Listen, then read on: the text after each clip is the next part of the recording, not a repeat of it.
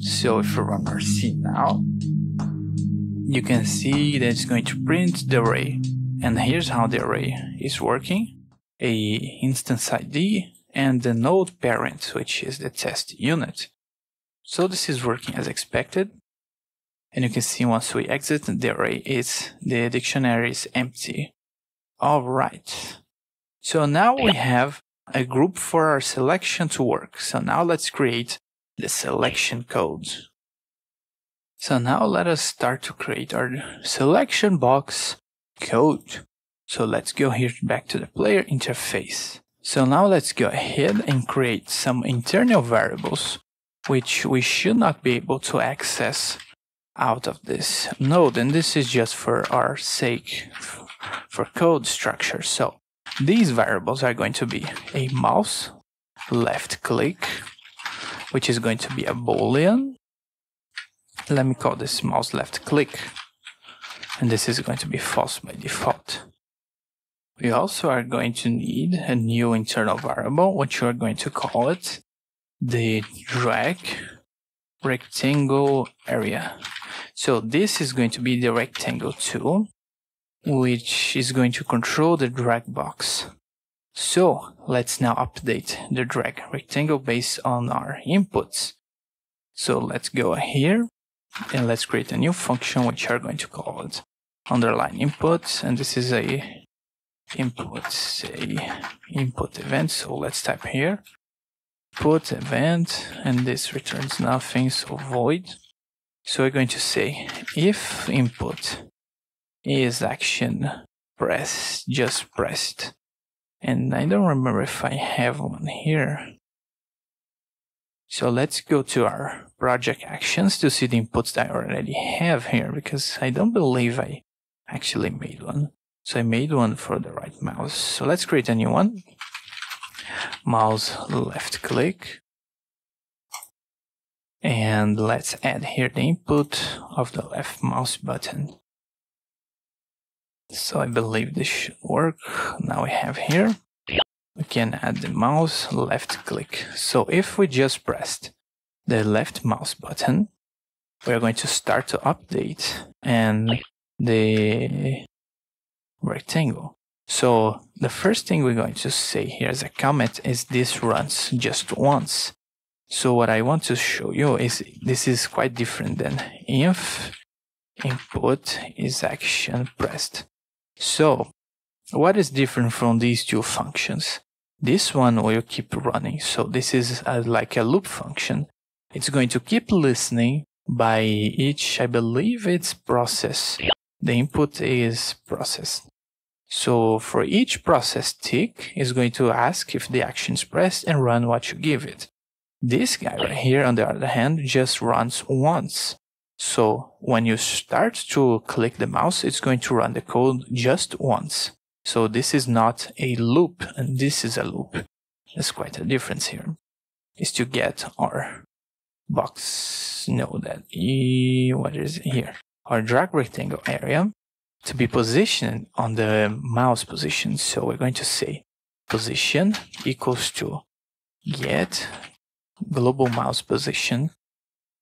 So when we start to click, we're going to teleport the drag box area to the position of the mouse. And we also are going to say here that the mouse left click is equal to true. Then if we release the mouse, so we're going to copy this. But instead of just pressed is action just released. And same thing, this is just going to run once. So once the player left go of the mouse, we are going to cast a selection function. So cast selection. It returns nothing. This will be a temporary function we're going to do later. So it's going to cast the selection we also are going to say the mouse left click equals false. And I'm going to say something else here. Let's just say, or yeah, let's leave it like this. So we are going to update the mouse now on the process here. So let me just static type this by defining the delta's float and say this function doesn't return nothing. So on the process function here, we're going to say the following. If the mouse is left clicked, so if we start already to press the mouse, we're going to say if our 9 patch rectangle, so our UI select drag box. Okay, and here's something to be aware of. The name of the node here is drag box, but I name it UI select. So I think I can rename this. So you can select any portion of the code and press Ctrl R. This is going to give you a replace menu here, and I'm going to replace that name with UI drag box. I think it works best. And you can match the case and whole so it doesn't replace stuff you don't want. So now it's called UI drag box. And so if our UI drag box is not visible, so visible is a property, and when to put this as negative, then we put the exclamation point. So we're saying here, if the UI drag box is hidden, then we should then first say if the drag rectangle area size, its length squared, is higher than a minimum.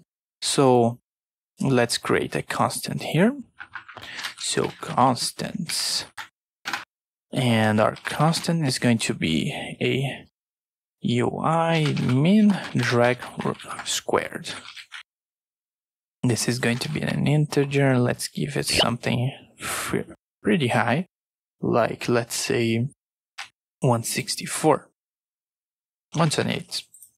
And I'm going to show you why this in a minute. So let's continue here. If drag box is required, then our constant, which is min drag squared. If that is the case, then we're going to turn our drag box visible. So UI drag box visible equals true. So let's read this code here. If we uh, have our mouse already pressed, we're going to check if our UI drag box is visible. If it's not visible, then we're going to ask if the rectangle of the selection is higher, its size is higher than our minimum, which is our constant here. And we chose the length square because it's faster than just length, because you have both these methods inside the rectangle. Then if all those conditions are true, we are going to display our UI drag box.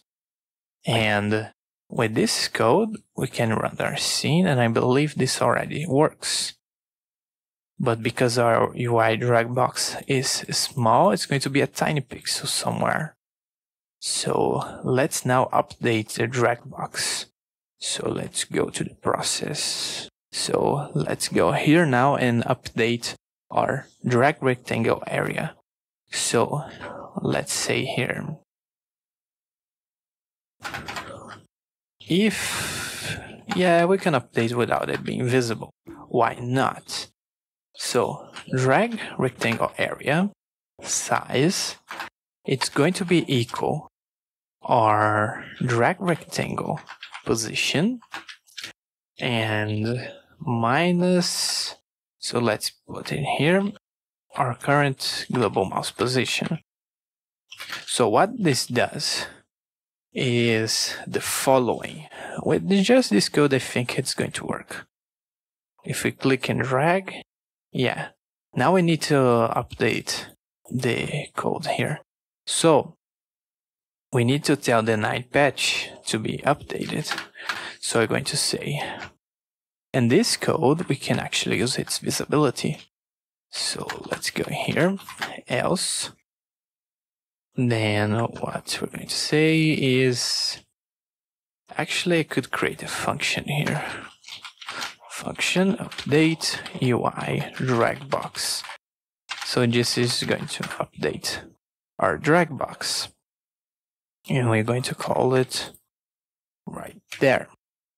So, how we are going to update? Well, first the position. So, UI drag box position equals to the drag rectangle area dot position. So let's see if this already works. And as you can see, the start position already works. Okay. So now let's grab the size. So UI drag box dot size is equal to our drag rectangle area dot size. Now we should copy the size of it.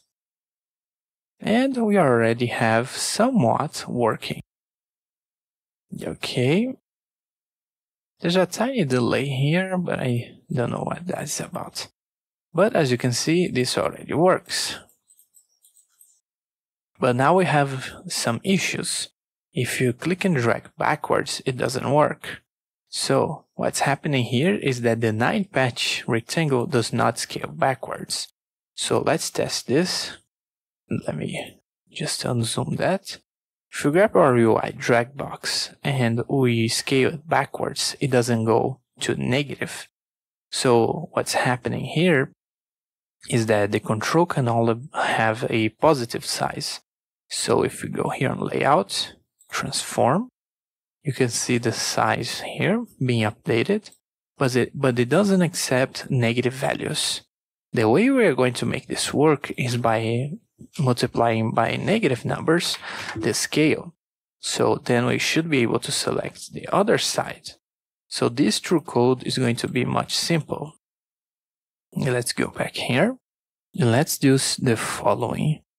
And one of the things that I also noticed is that UI drag box. So the position of the drag box can be teleported right after we set the drag box. So it's, it's, this code is just going to be called here once. Whereas if we leave the code here, it's going to be called for every process. So this just churned the function and uh, it's going to behave the same. So let's now implement our click backwards. So we are going to ask the following. If the drag rectangle area dot size dot x it's minus than zero so it's less than zero then we're going to say that our UI drag box dot scale dot x equals minus one and if that is not the case then we are going to put it as a positive let me just press tab here so this is going to be positive. So let's copy this. And we want to do the same thing. But now for the y-axis, so let's just replace these. So what is going here is the following. We're going to detect when to swap the code here. So the scale is, is going to need to be swapped for us to be able to select backwards because the UI drag box does not allow that. So let's just put some comments here to know what they are doing or try to do because this also can help you later to read. So detect when to scale drag box backwards. And because 9 patch only allows positive size. And this is just for us to remind later. Now, if you run this, it should be able to work. So it works by default. And if we go backwards, it kind of work. So something is happening. It's not working here. And let's see if we got any errors. And there's some script comments here, but nothing hard. So I think what's happening here is our drag rectangle area is not. It's giving a negative size. So let's try this and see if it fixes it. So I just added an ABS right there and it works.